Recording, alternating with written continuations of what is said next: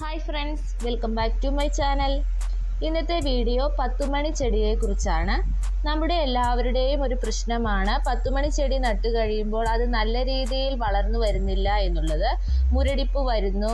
ഇനി നല്ല രീതിയിൽ വളർന്നു വന്നാൽ തന്നെ പൂക്കൾ കുറവാണ്. ഇതൊക്കെയാണ് പ്രശ്നങ്ങൾ. ഇതിനൊക്കെയുള്ള പരിഹാരമാണ് ഇന്നത്തെ വീഡിയോയിൽ പറയുന്നത്.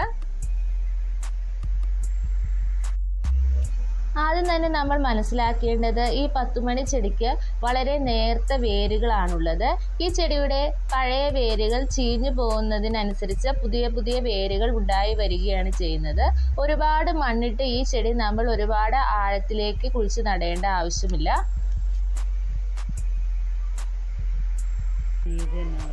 അതുകൊണ്ട് തന്നെ ഈ പത്തുമണി ചെടി നടുന്നതിന് ഒരു പ്രത്യേക മെത്തേഡ് ഉണ്ട് ആദ്യം ഘട്ടങ്ങളിൽ പത്തുമണി ചെടിയുടെ പൂക്കൾ വരുന്ന സമയത്ത് ആ തുമ്പു ഭാഗം നമ്മൾ നുള്ളി നുള്ളി കൊടുത്തുകൊണ്ടേയിരിക്കണം. ഏകദേശം ഒരു പത്ത് ഇഞ്ചോളമാണ് ഇതിന്റെ വളർച്ച വരുന്നത്. അത്രയും വളർന്നു കഴിയുമ്പോഴാണ് ഇതിൽ മുട്ടുകൾ വന്ന് ചെടി പൂവിടാൻ തുടങ്ങിയുള്ളൂ.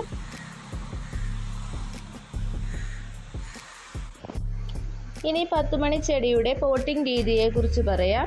പോട്ടി മിക്സ് ആയിട്ട് മണ്ണും കമ്പോസ്റ്റും ചാണകപ്പൊടിയും നമുക്ക് ഉപയോഗിക്കാം.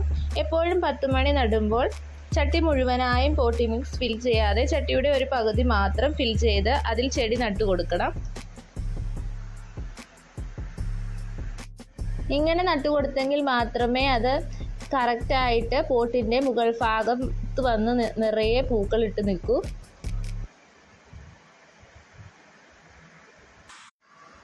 ചെടി നടുമ്പോൾ നടാനെടുക്കുന്ന കമ്പിന്റെ എല്ലാ തുമ്പുഭാഗവും നമ്മൾ കട്ട് ചെയ്ത് മാറ്റി കൊടുക്കണം. എങ്കിൽ മാത്രമേ പുതിയ ബ്രാഞ്ച് സടിയിൽ നിന്ന് പൊട്ടി വളർന്നു വരൂ.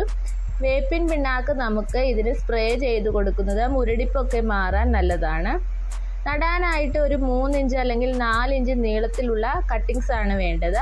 അതിൽ കൂടുതൽ നീളമുള്ള കട്ടിങ്സ് നമുക്ക് ആവശ്യമില്ല. വലിയ പീസസുകൾ നട്ട് കഴിഞ്ഞാൽ അത് മുകളിലേക്ക് പെട്ടെന്ന് വളർന്നു വരികയും ഒരു പൂ മാത്രമായി ഉണ്ടായി വരികയും ചെയ്യും.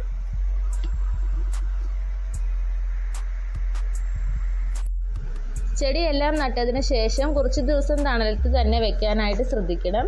ചെടി വളർന്നു തുടങ്ങിക്കഴിഞ്ഞാൽ ഇടയ്ക്കിടയ്ക്ക് നമ്മൾ ഡ്രിം ചെയ്ത് വെട്ടി കൊടുത്തുകൊണ്ടേയിരിക്കണം. അങ്ങനെ ചെയ്യുമ്പോഴാണ് ചെടിയുടെ അടിഭാഗത്ത് നിന്നും ഒരുപാട് ബ്രാഞ്ചസ് ഉണ്ടാകുകയും ചെടി നിറയെ പൂവിടുകയും ചെയ്യുന്നത്.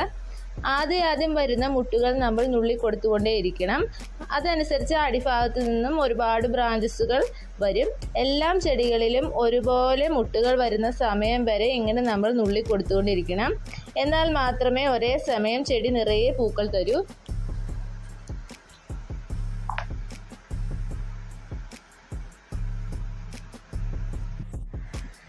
നമ്മൾ ഫുൾ ടൈം വെയിൽ കിട്ടുന്ന ഏരിയയിൽ ഈ ചെടി വെച്ച് കഴിഞ്ഞാൽ പൂക്കൾ കൂടുതൽ കിട്ടുന്നതാണ്. വീഡിയോ ഇഷ്ടപ്പെട്ടാൽ ലൈക്ക് ചെയ്യുക ചാനൽ സബ്സ്ക്രൈബ് ചെയ്യുക. താങ്ക്